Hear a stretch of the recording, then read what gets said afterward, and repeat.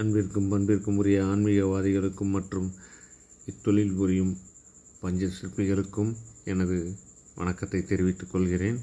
மற்றும் இந்த கலையை பயின்று வரும் சிறார்களும் இதனை இந்த அளவுகளை பயன்படுத்தி அவரவர்கள் தெல்ல தெளிவாக வேண்டும் என்பது எனது ஒரு ஆசை. ஆகையால் தான் தற்போது இதனை உலகம் உலகெல்லாம் பார்க்குறாங்க. அதனால் ஆங்கிலத்தில் எழுதியிருக்கேன். அவங்களும் பார்க்கட்டும் அப்படின்றதுக்காக தான் வேறு எதுவும் இல்லை. இதில் வந்து எல்லா அளவுகளுமே உங்களுக்கு ஒரு குறிப்பிட்ட அளவுகள் எல்லாமே உங்களுக்கு டீட்டெயிலாக எழுதியிருக்கேன். அதாவது அஞ்சு முகம் அளவு கொண்ட உயரத்துக்கு என்ன அந்த கணபதி எப்படி செய்யலாம் எந்த மாதிரி அப்படின்ற ஒரு விவரத்தை உங்களுக்கு துல்லியமாக கொடுத்துருக்கேன். அப்படின்னும்போது நான் இதெல்லாம் உங்களுக்கு எடுத்து சொல்லி தான் தெரியணுன்ற அவசியம் இல்லை. இருந்தாலும் முடிஞ்ச அளவுக்கு சொல்கிறேன் அது ஒன்றும் இல்லை. இப்போ இங்கிலீஷ் எழுதியிருக்கேன். என்ன? ஒன்றும் இடத்துல அதில் வந்து என்ன எழுதியிருக்கான்? Height of the Ganapathi. அந்த கணபதியோட உயரம் என்ன? அதை வந்து அறுபத்தி நாலு பாகம் பண்ணுங்கள் அறுபத்தி நாலு பாகம் பண்ணிவிட்டு யூனிட் பண்ணி யூனிட்னா அளவுகள் பண்ணுங்கள் அதை பார்ட் பார்ட்டாக பண்ணுங்கள் ஒரு பன்னெண்டு பாகமாக பண்ணுங்கள் பன்னெண்டு இன்ட்டு மல்டிபை அதாவது அஞ்சு பண்ணிங்கனாக்கா அஞ்சு பாகம் பண்ணிங்கனாக்கா அறுபது. முட்டி ஒரு ரெண்டு டல்லாரம் ஒரு ரெண்டு ஆகா அறுபத்தி நாலு அப்படின்ட்டு கிடைக்கிது. அப்போ இது வந்து அறுபத்தி நாலுன்றது இது நம்ம வடமொழி வ வட சொல்லல நம்ம தமிழ் சொல் தான் அது. லிபி கிரந்தத்தில் என்னன்னு சொல்கிறாங்கன்னா பஞ்சதாரம் அப்படின்றாங்க. அந்த தாளம்ன்றது வந்து நம்மளுக்கு வந்து வேவ்ஸ் இல்லையா? தாளம்ன்றது வந்து அதிர்வுகள். அதனால தான் நான் தாளம்னு சொல்கிறது கூட நம்ம தாளம்னு சொல்கிறத விட நம்ம முகக்கூறு அளவுகள்னு சொல்லிட்டு போகிறது எவ்வளோ பெஸ்ட் இல்லைங்களா? இப்போ ஹைட்ன்ற போது நம்ம ஹைட்டு இதுன்னும்போது நம்மளுக்கு இது அதாவது நம்ம இசிசி போகுது பாருங்கள் அந்த மாதிரி நம்ம ஹைட்டை கனெக்ட் பண்ணிடலாம். இப்போ நம்ம ஹைட்டை கனெக்ட் பண்ணி தான் நம்ம அகலத்தை எடுக்கிறோம் இல்லையா? அப்படின்னும்போது டாலன்றது தட்டுதல் தானே. அங்கே அதை மெசன் மென்ஷன் பண்ண மென்ஷன் பண்ண அவசியமே இல்லை. அதனால தான் நான் மென்ஷன் பண்ணாமல் முகக்கூறு அளவுகள்ன்றேன். ஏன்னா இது வந்து முதல் வகை முக முற முதல் வகை முகக்கூறு அளவுன்னு வச்சுக்கோங்களேன். அந்த கணபதி தெய்யம் சரியா? இதுலேயே நிறைய கணபதிகள் வகைகள் இருக்குது அந்த கணபதி கணபதிகளோட வகைகள் நிறையா இருக்குது சரியா? இதில் வைணவ கணபதிகள்லாம் நிறைய உயரமாகவும் நீ நீண்டு இருக்க மாதிரியும் கததாங்கின மாதிரியும் சங்க சங்கு சக்கரம் ஏந்திர மாதிரியும் நிறையா இருக்குது அதெல்லாம் நிறையா இருக்குது அதெல்லாம் ஒன்றுனா பார்க்கலாம். பிரச்சனை ஒன்றும் பிரச்சனை இல்லை. பட்டு இது ஏற்கனவே சும்மா ஒரு கணபதி வந்து ஒரு அதாவது ஒரு ஒரு நிமிஷத்தை சும்மா எப்படி வரையுதுன்னு ஷார்ட் வீடியோ போட்டிருப்பேன். பட் டீட்டெயில் தெரிஞ்சுக்கணும்ல. இந்த ரவுண்ட் பண்ணுற பாருங்கள் அறுபத்தி நாலு அப்படின்ட்டு. இந்த அறுபத்தி நாலு பாகம்ன்ட்டு.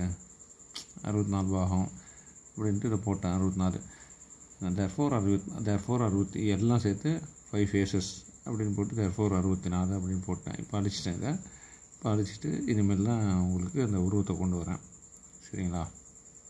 இன்னும் இனிமேல் மைய கூட போடுறேன். இது அந்த இது வந்து இந்த கோடு நம்மளுக்கு நிரந்தரம் இருக்காது. அதை ஏற்கனவே சொல்லியிருக்கேன் உங்களுக்கு.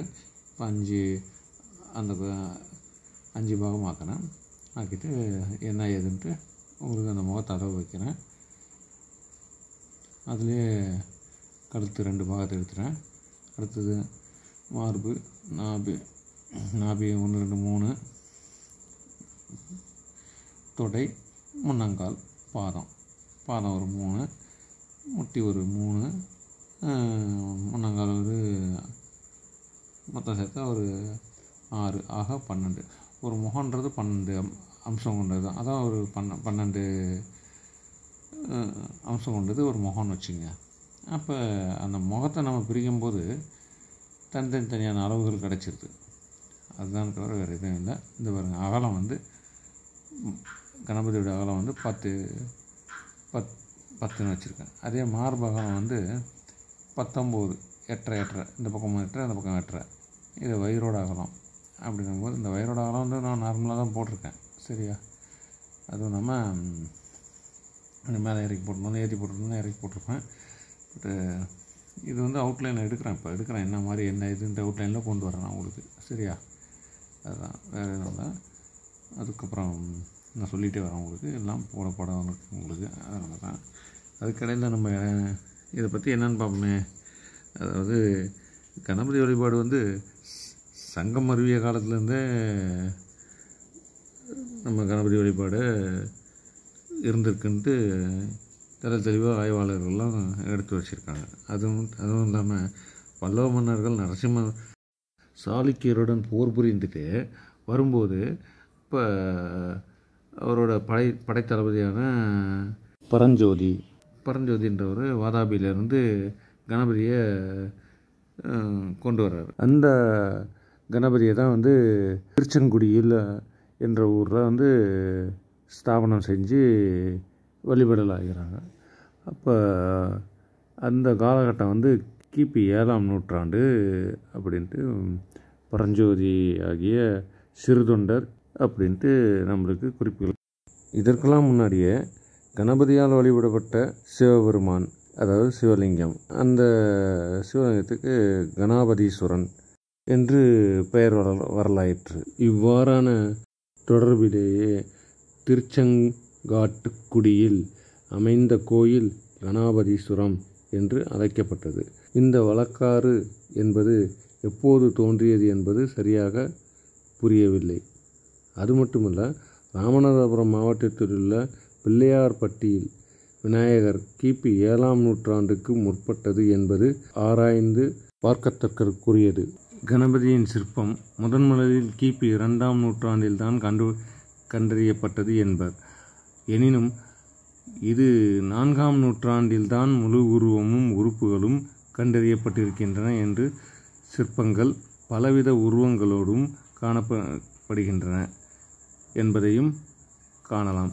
பலவித ஆசன பந்தங்களின் வீற்றிருப்பவராகவும் ஐந்து பிள்ளையார்களிலிருந்து பின் ஐந்து தலை பிள்ளையாரானார் கணேசனி என்ற பெண் உருவத்தோடும் பைரவாம்சத்தோடும் பெருச்சாலி இல்லாமல் மயில் தவளை ஆமை முதலிய வாகனங்களோடும் காணப்படுகிறார்.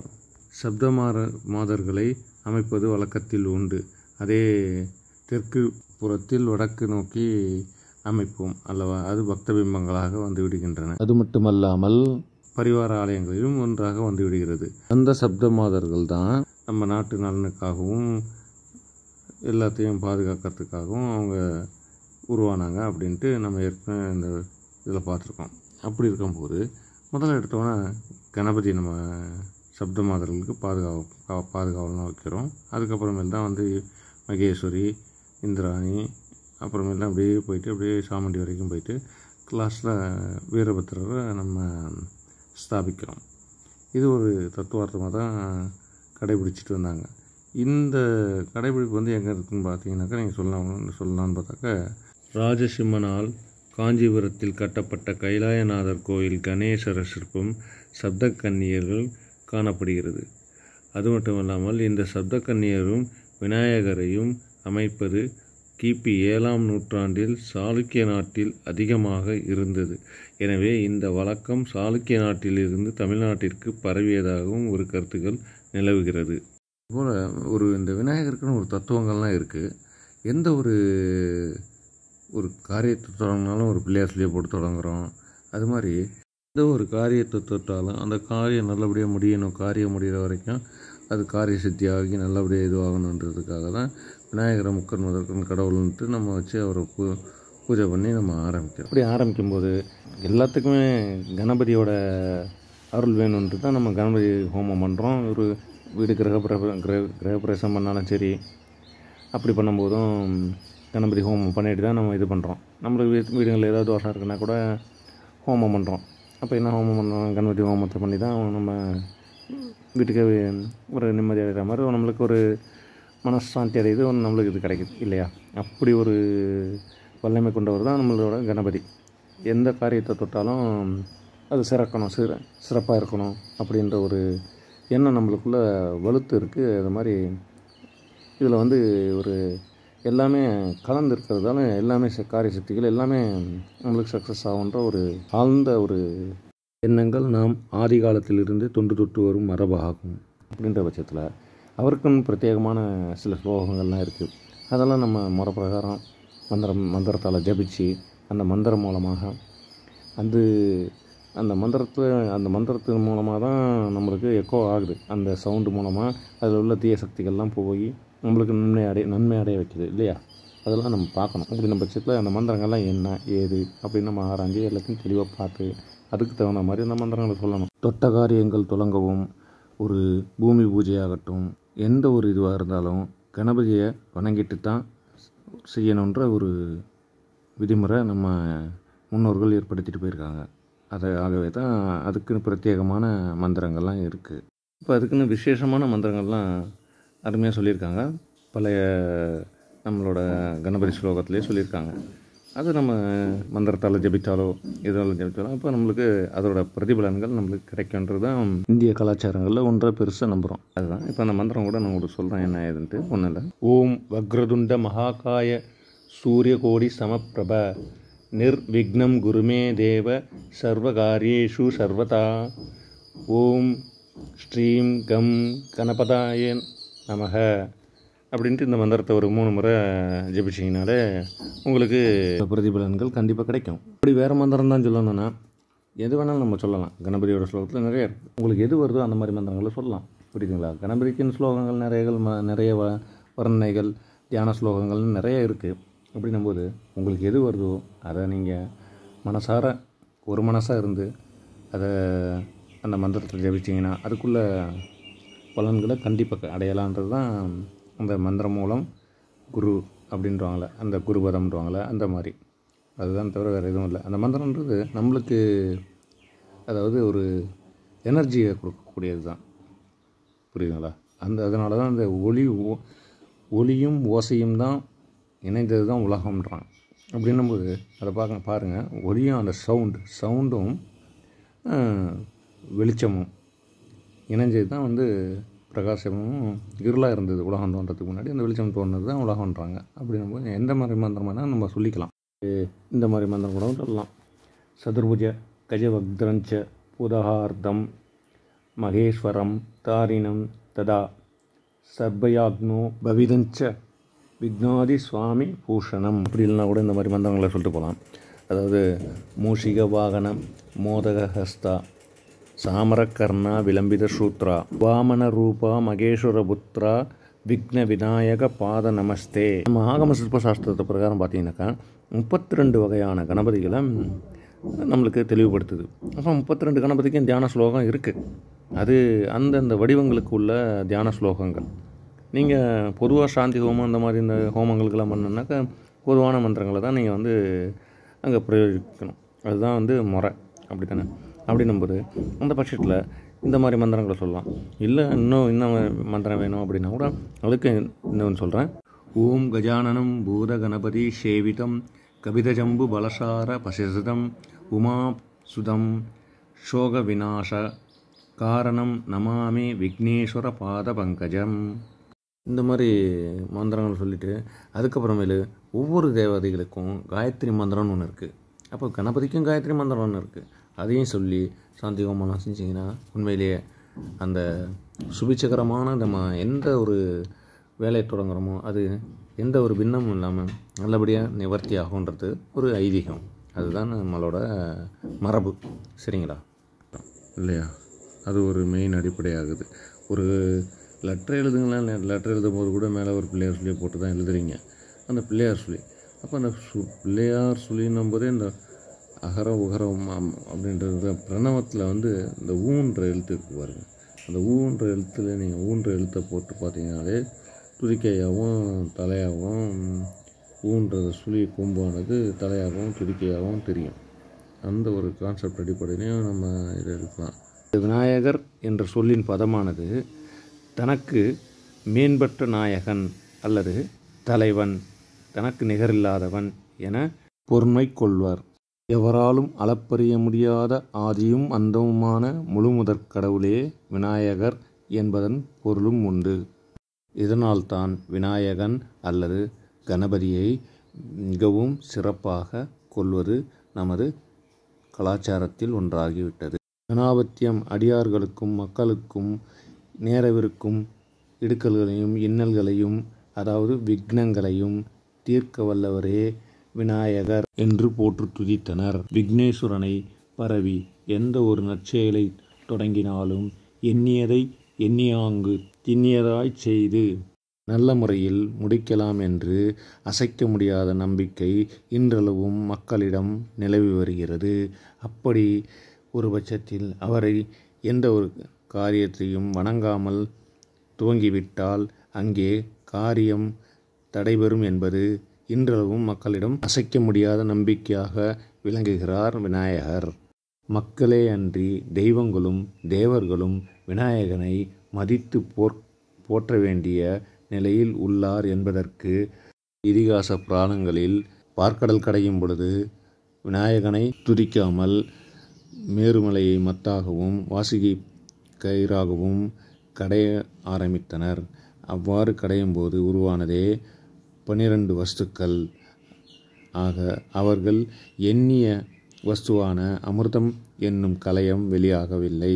என்ன காரணம் என்று உற்று நோக்கையில் விநாயகரை வணங்காததுதான் காரணம் என்று அதன் பின்பு விநாயகரை வணங்கி திரும்பவும் பார்க்கடலை கடைந்தனர். அதன் பிறகுதான் தன்வந்திரி அமிர்தகலச ஹஸ்தத்துடன் வெளிவந்தார் என்பது புராணங்களில் எடுத்துரைக்கிறது. மேலும் இன்னும் பல அதிசய நிகழ்வுகளை புராணங்களின் வாயிலாகவே நமக்கு புலப்படுத்துகிறார்கள். திரிபுரம் எரித்த விரிசடை கடவுள் என்பதையும் இங்கே காணலாம். தென்னாட்டு சிவனே போற்றி எந்நாட்டார்க்கும் இறைவா போற்றி என்று சிவனை நாம் அப்படி புகழ்கிறோம். அத்தனை பெருமை வாய்ந்த என்குணத்தானின் மகனே கணபதி தன் தந்தை என்றும் பாராமல் தன்னை பொருட்படுத்தாமல் முப்புறம் எரிக்க புறப்பட்ட சிவபெருமானுக்கு பாடம் கற்பிக்க நினைத்த விநாயகன் திரிபுர சகோதரர்களான கமலாச்சன் விமலாச்சன் தாரகாச்சன் என்ற மூன்று அரக்கர்களையும் தேவ தட்சனாகிய விஸ்வகர்மாவால் படைக்கப்பட்ட திருத்தேரில் ஏறி அவர்களுடன் போர் புரிய முனைந்தார். அத்தருணத்தில் விநாயகர் தேரின் அச்சு முறியுமாறு செய்ததன் விளைவே இதனை அருணகிரிநாதர் அழகாக எடுத்து கூறுகிறார். முப்புறம் எரித்த அச்சிவன் உரைரதம் அச்சு பொடி செய்த அதித்தீரா என கூறிச் சொல்வதால் உணரலாம். அடியார்களின் இடையூறுகளை நீக்குவதாலே விநாயகன் தோன்றியுள்ளான் என்பதே இதன் பொருள் என திருப்புகழ் கூறுகிறது. பிடியதன் உருவுமை கௌமேகு கரியது. வடிகொடு தனதடி வழிபடு அவரிடர். கடிகன பதிவர அருளினான் மிகு கொடை வடிவினர் பயில்வழி வளமுறை பிறையே என திருஞான சம்பந்தரின் திருவாக்கால் அறியலாம். போல இந்த விநாயகருக்கு இந்த மகாக்காய வக்ரருந்த மகாக்காயன்றாங்களே இந்த பெரிய உடலில் அந்த வயிறில் நாகத்தை கட்டுறாங்க. அந்த நாகத்தை கட்டுறதுக்கு என்ன காரணம் அப்படின்ட்டு ஒரு அதுக்கும் ஒரு காரணத்தை கூறி தான் கரெக்டாக அந்த உதரபந்தத்தில் நாகத்தை காமிக்கிறாங்க. அதுவும் ஒரு கான்செப்ட் என்ன கான்செப்ட்னாக்கா விநாயகர் ஒரு சமயம் தன் தந்தைக்கு அவர் தியானத்தில் இருக்கும்போது போய் வணங்குறாரு. வணங்கும்போது அப்போ அந்த நாகம் என்ன நினைக்கிது? படம் எடுத்து ஆடிக்கிட்டு அவர் கழுத்தில் இருந்துக்கிட்டு ஓஹோ உலகமெல்லாம் உன்னை வணங்குது. நீ என்ன வணங்குறியா? அப்படின்ட்டு நாகம் கர்வம் கொண்டு தன்னை ஆணவத்திமரில் நினச்சிருச்சு. இதுதான் எல்லாத்தையுமே தியானத்திலே இருந்தாலும் ஈசனானவர் உணர்ந்தவராச்சே. அப்போ உனக்கு என் கழுத்தில் இருக்கவே தானே உனக்கு இவ்வளோ ஒரு ஆணவத்திமிர் அப்படின்ட்டு அட ஒண்ட வந்த பிடாரியை ஊர் பிடாரியை உர விரட்டிச்சான். அந்த கதையில் இருந்துடக்கூடாது அப்படின்ட்டு என்ன பண்ணார்? உனக்கு தகுந்த தண்டனை அளிக்கணும். அப்படின்னு அந்த விநாயகரோட என்னோடய மகனோட அந்த வயிற்றில் உதரபந்தத்தில் நீ போய் அலங்காரமாக இருக்கு அப்படின்ட்டார். அந்த ஒரு சாபத்தை வாங்கிக்கிட்டு தான் விநாயகர் விநாயகரோட உதரபந்தத்தை வந்து நாகத்தை காட்டுறோம். அப்போ நாகத்தை காட்டும்போது விநாயகர் உணவு உட்கொள்ள உட்கொள்ள வயிறு பெருத்து இருக இருக அந்த நாகத்தால் தாங்க முடியலையாம் வலி. ஆஹா அப்போ தான் உணர்ந்து தான் தப்பு செஞ்சிட்டமே அப்படின்னுட்டு. அந்த மாதிரி சில தவறுகள்லாம் தன்னை தெரியாமையே செஞ்சு செஞ்சிடுறது. அதுக்கப்புறமேல் தண்டனைகளை அனுபவிக்கிறது. அதுதான் வந்து இந்த ஒரு சூட்சமான ரகசியங்கள்லாம் வந்து இந்த ஆன்மீகத்தில் ரொம்ப அதிநுட்பமாக புகுத்தியிருக்காங்க இல்லையா? விநாயகரின் அமைப்பு இலக்கணத்தை தற்போது காண்போம். விநாயகரின் திருவுருவம் ஆனைமுகம் ஓங்காரமாகிய பிரணவத்தினை நினைவு ஊட்டுவதாக கூறுவர். ஓங்கார வடிவனன் இவன் என்பது விநாயகர் அஷ்டோத்திர சதநாமங்களில் ஓம் ஓங்காராய நம என போற்றி துதிக்கப்படுவதை நாம் உணரலாம். விநாயகருடைய நான்கு கரங்கள் தேவர்கள் இயல்பையும் தும்பிக்கை என்பது விலங்கின் இயல்பையும் எடுத்துரைக்கிறது. இதன் பொருட்டே அந்த துதிக்கையையும் சேர்த்து ஐங்கரன் என்கின்றோம். விநாயகரின் வயிற்றை பேரிக்காயின் வடிவிற்கு ஒப்பிடுவர். அந்த பேரிக்காயின் வடிவின் உள்ள வயிறானது அண்டத்திற்கு ஒப்பிடுவர். ஆகவே அனைத்தும் அந்த சராசரங்களும் அந்த வயிற்றுக்குள் அடங்கும் என்பதையும் உணர்த்தும் தத்துவ விதுவும் விதமாக அவரது வயிறானது அமைகிறது. மேலும் பருத்து குறுகிய கட்டையான கால்களும் பூத இயல்பையும் ஏனைய உடல் உறுப்புகள் மானுட இயல்பையும் அது மட்டுமல்லாமல் விநாயகரின் உடைந்த கொம்பு பகுதியானது பெண்ணின் இயல்பையும் முழு தந்தத்தை உடைய பாகமானது ஆணின் இயல்பையும் உடையதாக தத்துவத்தில் குறிப்பிடுகின்றனர். பொதுவாக ஆணைமுகம் அக்ரிணையையும் ஏனைய உறுப்புகள் உயர்தினையையும் எடுத்துரைக்கிறது. வெட்டவெளியில் அம்பலப்பெருவெளியில் ஓங்காரநாதனினின்று உண்டாகியது உலகம் என்பர். அந்த ஓங்கார அடிப்படையை நினைவிற்கு கொள்ளுமாறு ஆணைமுகமானது திருவடிவம் அமைகிறது. உலகம் யாவும் அவனுள் அடக்கம் என்பதனை உணர்த்தும் வகையில் அவனது மத்தள பயிறு உள்ளது என்பதனை தத்துவமாக இங்கே ஞானிகள் குறிப்பிடுகின்றனர். விநாயக பெருமானின் ஊர்தியானது மூஷிகம் அதாவது பெருச்சாலி என்பர். இங்கேயும் தத்துவபூர்வமான ஒரு கருத்தைத்தான் நம் சான்றோர்கள் முன்வைத்துள்ளார்கள். அதாவது கனத்த உடல் கொண்ட கணபதியை சுமக்கும் சிறிய பெருச்சாளி எவ்வாறு என்பது நமக்கும் ஒரு கேள்வி உருவாகும். ஆகையால் அதற்கும் விளக்கம் அளிக்கின்றார்கள் உருவமற்ற அருவுருவமான வடிவங்களே தெய்வங்கள். அதுவும் தெய்வம் என்பது ஒளி வடிவமானது. ஆகையால் ஒளி வடிவமானது என்பதால் அந்த பெருச்சாலியின் மேல் அமர்ந்து வலம் வருவது இயல்பு. தமிழகத்தில் விநாயகரை அறுவடை கடவுள் என்று போற்றி வணங்குவதன் காரணம் பெருச்சாலியானது. நெற்பயிர்களை கொய்து நாசம் செய்வதால் அதனை அடக்கி தன்வசம்படுத்தியதால் விவசாயிகளுக்கு ஏதுவாக அமைவதால் வின- விவசாயிகள் போற்றி வணங்குகின்றார்கள். மேலும் தத்துவ அடிப்படையில் காண்கையில் ஐங்கரனை ஒன்றிணைத்த மோதகம் ஆன்மாக்களை காக்கும் பொறுப்பையும் பிறிதொன்றிலுள்ள த தந்தம் தேவர்களுக்கு அருள் செய்யும் நோக்கத்தையும் மற்றொன்றிலுள்ள நீர்க்கலசம் உயிர்களின் மாயையை அகற்றும் நோக்கத்தையும் தனது பின்புற கைகளான பராஸ்தத்தில் அமைந்துள்ள பாசாங்குஷம் ஆன்மாக்களை தீங்கு விளைவிக்காமல் காக்கவும் குறிக்கும் விதத்தில் அமைக்கப்பட்டிருக்கிறது. விநாயகரின் இந்த ஐங்கரத்தை பற்றி மேலும் காண்கையில் அந்த ஐந்து திருக்கரங்களும் படைத்தல் காத்தல் அழித்தல் மறைத்தல் அருளல் என ஆகிய ஐந்து தொழில்களையும் குறிக்கும் என்பர். சிவபரம்பொருளை நினைவூட்டும் வகையில் ஆனை முகனுக்கு மூன்று கண்கள் உண்டு. இம்மூன்று கண்களும் சூரியன் சந்திரன் அக்னி ஆகியவற்றை நினைவுபடுத்தும் தத்துவமாக விளங்குகிறது.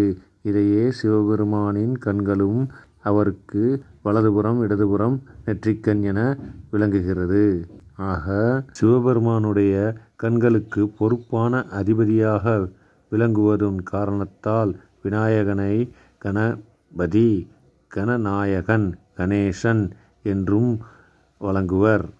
விநாயகர் இடது க- தனது கரத்தில் மோதகத்தை அமைத்து அதன் தத்துவத்தை குறிக்கும் விதமாக எள்ளும் வெள்ளத்தையும் கலந்து அவரின் கரங்களில் காண்பிப்பது வழக்கு.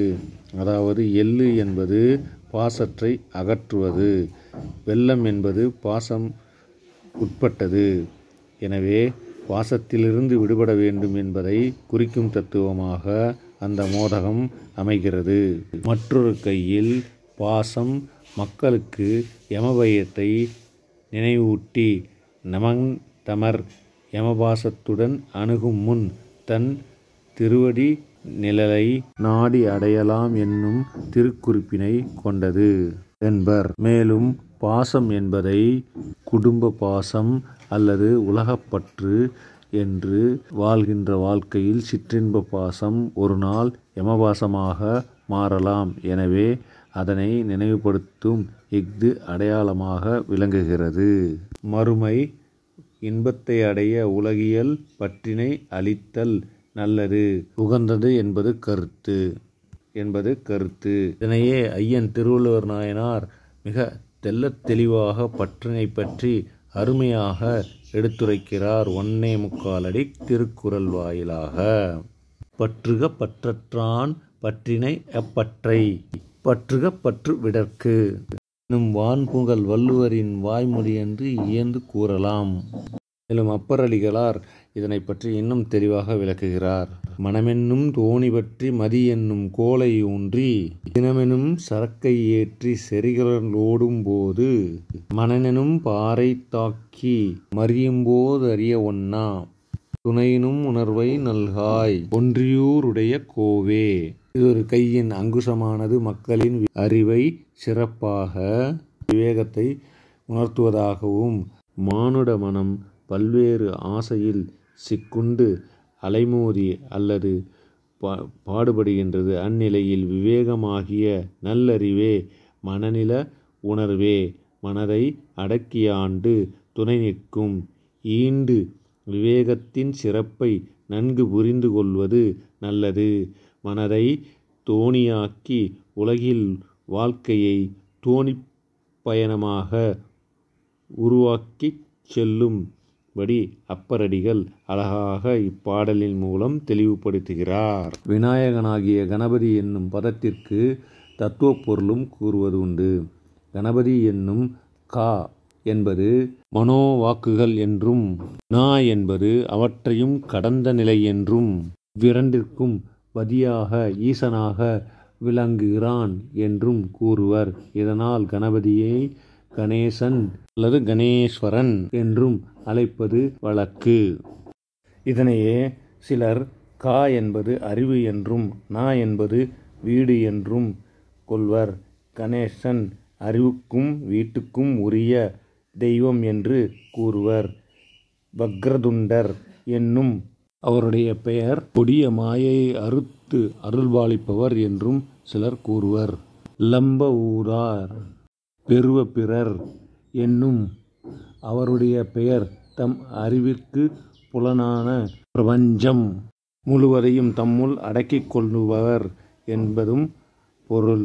அவர் ஊர் வாகனமாகிய மூஷிகம் மூஞ்சூறு நமக்குள் இருக்கும் நம்மை அழிக்கும் கள்ளத்தன்மையான உலகப்பற்று என்னும் அவற்றை உன்னதமான மோதகம் இன்பத்தை பயக்கும் ஞானம் என்று கூறுவார்கள். என்பது சிந்திக்கத்தக்கது ஆகும்.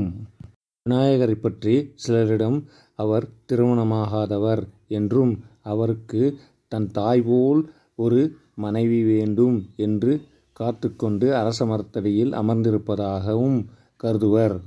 ஆகவே தான் திருமணமாகாத பெண்களை அரச மரத்தடி பிள்ளையாரை சுற்றி வந்து வணங்கி வரச் சொல்வார்கள். இது ஒரு ஐதீகமாக இன்றும் கடைபிடித்து வருகின்றனர். இதன் பொருட்டே கணபதியை பிரம்மச்சாரியாகவே பொதுவாக கூறுவர்.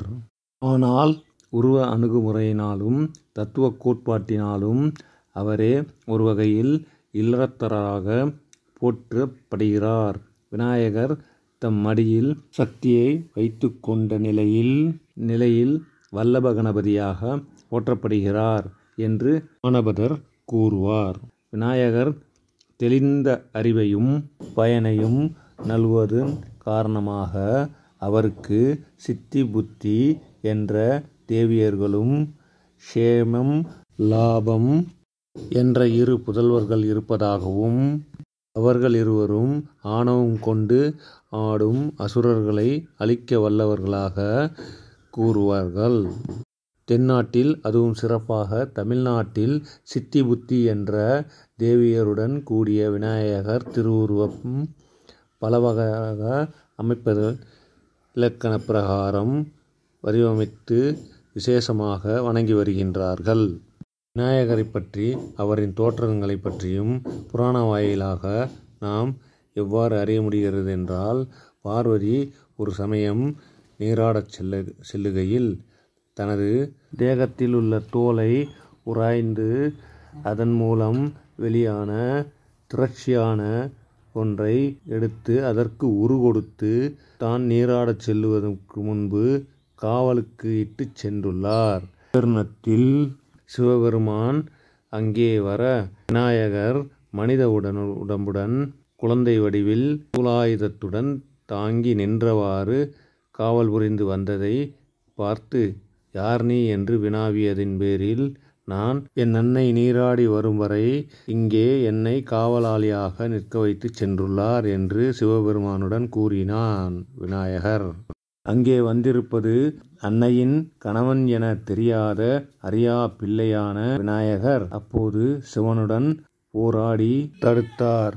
இதன் விளைவாக சினம் கொண்ட சிவபெருமான் தன் மழுவால் பாலகன் என பாராமலும் தலையை கொய்துவிட பார்வதி தேவி நீராடிவிட்டு வெளியில் வந்து பார்த்ததும் குழந்தையை கட்டிப்பிடித்து கதறி அழுதார். சுவாமி இது குழந்தை என் தேகத்திலிருந்து உருவானது. எனவே இதுவும் நமது குழந்தையே ஆகும் என சிவனுக்கு உணர்த்தவே சிவனும் தன் தவறை உணர்ந்து தருணத்தில் தனது பூதகண சேனைகளை நாலாட்புறமும் அனுப்பி வடக்கே யார் தலை வைத்து படுத்திருந்தாலும் அல்லது எந்த ஜீ ஜீவராசிகள் தலை வைத்து படுத்திருந்தாலும் அத்தலையை கொண்டு வாருங்கள் என்று கூறினார். அப்போது பூதகணங்கள் நாலாற்புறமும் தேடி பார்த்ததில் வெள்ளை யானை ஒன்று வடக்கு புறமாக தலை வைத்து படுத்திருந்த நிலையில் அத்தலையை கொய்து வந்தனர். அங்கே யானைக்கும் சிறு பாலகனுக்கும் பொருந்தாத நிலையில் இருந்த நிலையில் யாகம் ஒன்றை வளர்த்து பொருந்தும் அளவிற்கு விநாயகனை தத்துருவமாக முகம் பொருந்திய பூதகணமாக உடலையும் பொருத்தமாக உருவாக்கும்படி அங்கே சித்தரித்து உருவானவரே விநாயகப் பெருமான் என்பது புராண வாயிலாக அறிவிக்கப்படும் கருத்து. விநாயகரில் முப்பத்தி இரண்டு உருவ உருவபேதங்கள் சிற்பசாஸ்திரங்கள் கூறுகின்றன. என்று ஏற்கனவே நான் கூறியிருந்தேன். அவற்றின் முறையே வரிசைப்படி தற்போது முறைப்படுத்துகிறேன். ஒன்று பாலகணபதி. இரண்டு தருணகணபதி. மூன்று பக்த கணபதி நான்கு வீரகணபதி. ஐந்து சக்தி கணபதி ஆறு துவஜ கணபதி ஏழு பிங்கள கணபதி எட்டு உச்சிஷ்ட கணபதி ஒன்பது விக்ன கணபதி பத்து க்ஷிப்ர கணபதி பதினொன்று ஏகாம்பர கணபதி பன்னெண்டு லக்ஷ்மி கணபதி பதிமூன்று மகா கணபதி பதினான்கு விஜய கணபதி பதினைந்து நிருத்த கணபதி பதினாறு ஊர்துவ கணபதி பதினேழு ஏகாட்சர கணபதி பதினெட்டு வர கணபதி பத்தொன்பது திரியாட்சர கணபதி இருபது ஹரித்ர கணபதி இருபத்தி ஒன்று ஏகதந்த கணபதி இருபத்தி ரெண்டு சிருஷ்டி கணபதி இருபத்தி மூன்று உத்தண்ட கணபதி இருபத்தி நான்கு ருணமோட்சண கணபதி இருபத்தி ஐந்து துண்டி கணபதி இருபத்தி ஆறு துவிமுக கணபதி இருபத்தி ஏழு திரிமுக கணபதி இருபத்தி எட்டு பஞ்சமுக கணபதி இருபத்தி ஒன்பது சிம்மமுக கணபதி முப்பது யோக கணபதி முப்பத்தி ஒன்று துர்கை கணபதி முப்பத்தி இரண்டு சங்கடகர கணபதி என முப்பத்தி இரண்டு கணபதி வகைகளை சில்ப ஆகம நூல்கள் நமக்கு நன்கு விவரிக்கின்றது. அதுபோல் பிள்ளையார் சுழி என்பதை முன்பே கண்டோம். இருப்பினும் இம்முறை தெளிவாக அதையும் பற்றி காண்போம். அகரம் உகரம் மகரம் ஆகிய மூன்றையும் பிணைப்பாக அமைந்துள்ளது. அகரம் உகரம் மகரங்கள் ஓம் என்னும் பிரணவத்தில் உள்ளதை சமய நூல்கள் கூறும். நாத பிரம்மம் ஆகிய ஓம் என்னும் பிரணவம் பிள்ளையார் சுழியால் நினைவு கூறப்படுகிறது என்பது சமய நம்பிக்கை. பிள்ளையார் சுழியில் உள்ள வட்ட வடிவ சிவசக்தி பீடம் என்னும் ஆவிடை என்னும் நீண்டு நிற்கும் கோடு மூலஸ்தம்பம் என்னும் சிவலிங்கம் என்றும் சொல்லப்படும். இவற்றை முறையே விந்து என்றும் நாதம் என்றும் தத்துவ ஞானிகள் விளக்குவர். மேலும் பிள்ளையார் சுழியால் வட்ட வடிவ மூலாதார பீடம் எனவும் நீள்வட்ட வடிவு அதன் கண் எழும் பிரம்மநாடி எனவும் அது மூலகணபதி நிலையம் எனவும். அக்கணபதி சொரூபம் ஆகிய பிரம்மதாரம் எனவும் எழுத்துக்களில் விந்து எனவும் வேத தலைதரு பொருளாய் விளங்கும் மௌனக்குறி அல்லது ஊமை எழுத்து எனவும் நூல்களில் குறி குறிப்பிடுகின்றனர். ஒரு பொருள் குறித்தோ நல்ல செய்தி குறித்தோ அல்லது ஒரு நற்காரியத்தை துவங்கவோ அப்படி துவங்கும்போது பிள்ளையார் சுழி போடுவது மரபு என்ற முறையில் வழி வழியாக தொன்று தொட்டு வரும் அன்றாட பழக்கமாயிற்று. அப்படி அவன் பிள்ளையார் சுழி போடுகையில் அவனது நம்பிக்கை அங்கே வீண் போகாமல் தான் கொள்ளும் மேற்கொள் கொள்ளும் காரியமானது எந்தவித பின்னமும் இல்லாமல் நல்ல முறையில் வெற்றிகரமாக முடியும் என்பதே ஆணித்தனமான நம்பிக்கை அவனுக்கு அங்கே பிறக்கிறது. இது பிரம்மப்பொருளால் படைக்கப்பட்ட ஒரு வகை பிண்டத்தின் கந்தாரக ஓங்காரம். எவ்விதம் இது அமைந்துள்ளதோ அவ்விதமே. ஓ என்னும் வடிவம் தமிழிலும் கிரந்தத்திலும் செவ்விதின் அமைக்கப்பட்டிருப்பதை பற்றியும் சான்றோர் பலர் எடுத்து கூறியிருக்கின்றார்கள். சுருக்கமாக ஓங்காரமாகிய பிரணவத்தின் அடையாள திருவுருவமே ஆனைமுகத்தானின் முகத்தை ஒத்த வடிவமாகும். அதன் குறியீடே பிள்ளையார் சுழி என்பதும் ஈண்டு இயையுடன் சிந்திக்கத்தகும். விநாயகப் பெருமான் கைலாயத்திலுள்ள பூதகணங்களின் தலைவராகவும் விளங்குவது சிந்திக்கக்கூடியது. மேலும் விநாயகப் பெருமான் தந்தை தாயே உலகம் என சுற்றி வந்து மாங்கனியையும் பெற்றது ஒரு வியக்கத்தக்க விஷயமே. அதையே நம் திருவள்ளுவர் நாயனார் ஆதி பகவன் முதற்றே உலகு என்றும் முதல் பாடலிலேயே தனது திருக்குறளின் வாயிலாக தெரிவித்திருப்பதும் தெய்வீகத்தன்மை உடையது போற்றத்தக்கது என்பது எந்தவித சந்தேகமும் இல்லை. அதுபோல் விநாயக பெருமான் விஷ்ணுவின் சக்கரத்தை தன் வாயில் போட்டு விழுங்கியதால் அவரிடமிருந்து சக்கரத்தை பெறுவதற்கு விநாயகரிடம் விஷ்ணு பெருமான் விகடக்கூத்து ஆடி அச்சக்கரத்தை பெற்றார் என்பதும் ஒரு வரலாறு சிறப்பாக எடுத்து கூறுகிறது. அது மட்டுமல்ல வால்மீகி ராமாயணத்தை எழுதுவதற்கு தன் தந்தத்தையே உடைத்து வால்மீகி ராமாயணம் எழுதினார் என்று புராணங்கள் வாயிலாக தெரிவிக்கிறது. மேலும் விநாயகரை பற்றி கூற வேண்டுமானால் இன்னும் பல விஷயங்களை பற்றி பதிவிடலாம். ஆனால் போதுமான நேரமின்மையால் இத்துடன் சிற்றுரையை முடிக்கின்றேன். இன்னும் சொல்லிக்கொண்டு போக வேண்டும் என்றால் கஜமுகாசூரனை அழித்தது மூஷிக வாகனம் எவ்வாறு வந்தது இதையெல்லாம் தீர்க்க தீர்க்கமாக ஆராய்ந்தால் அப்போது நமக்கு தெள்ளத் தெளிவாக ஒவ்வொன்றாக புரியும் என்பதை நான் இங்கனம் தெரிவித்துக் கொள்கிறேன். மேலும் எனது வணக்கத்தை அனைவருக்கும் பணிபண்புடன் தெரிவித்து கொண்டு கொள்வதுடன் மேலும் இதில் பிடித்திருப்பவர்கள் சப்ஸ்கிரைப் செய்து மற்றும் அவரவர்கள் ஐகான் பெல் பட்டனை அழுத்தினால் அடுத்தடுத்த வீடியோக்கள் மூலம் எனது பதிவுகள் வந்த வண்ணம் இருக்கும் என்பதை தெரிவித்துக் கொள்கிறேன். ஏற்கனவே சப்ஸ்கிரைப் செய்த அன்பர்களுக்கும் ஆன்மீகவாதிகளுக்கும் சிற்ப சகோதரர்களுக்கும் எனது பணிவான வணக்கத்தையும் மற்றும் நன்றியினையும் தெரிவித்துக் கொள்கிற கொள்கிறேன். இதனை யார் யாருக்கெல்லாம் உங்கள் அன்பர்களுக்கு எடுத்துரைக்க முடியுமோ அனைவர்களுக்கும் எடுத்துரைக்கவும். இவ்வளவு நேரம் மிக பொறுமையுடன் உங்களது த பொன்- பொன்னான நேரத்தை இந்த வரைபடத்திற்காக ஒதுக்கியும் எனது உரையாடலை கேட்பதற்கும் அதன் அர்த்தங்களை புரிந்து கொண்டதற்கும் எனது தாழ்மையான வணக்கத்தை தெரிவித்துக்கொண்டு மேலும் இது இது போன்ற இன்னும் பதிவுகள் வந்த வண்ணம் இருக்கும் என்பதையும் இங்கனம் பதிவு செய்கிறேன். நான் பேசுவது மகாபலிபுரம் பாஸ்கரன் ஸ்தபதி. அனைவருக்கும் எனது வணக்கம். Thank you for everybody